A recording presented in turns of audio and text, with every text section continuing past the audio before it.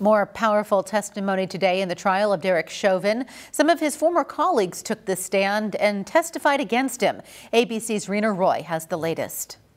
He was perhaps one of the most crucial witnesses to take the stand so far in the Derek Chauvin trial. Today, a senior Minneapolis police officer condemning Chauvin's actions during that deadly encounter last May. Putting your knee on the neck for that amount of uh, that amount of time is just um, uncalled for. Lieutenant Richard Zimmerman, head of the homicide unit, calling the force deadly and unnecessary, saying he saw no reason for the officers to feel threatened. Have you ever, in all the years you've been working for the Minneapolis Police Department, uh, been trained to kneel on the neck of someone who is handcuffed behind their back in a prone position?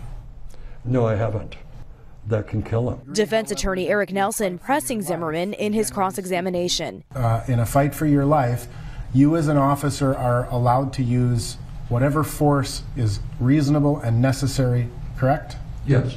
The defense arguing Floyd's drug use contributed to his death. His girlfriend, Courtney Ross, saying they both battled chronic pain and became addicted to opioids. Was your belief that Mr. Floyd started using again about two weeks prior to his death, correct?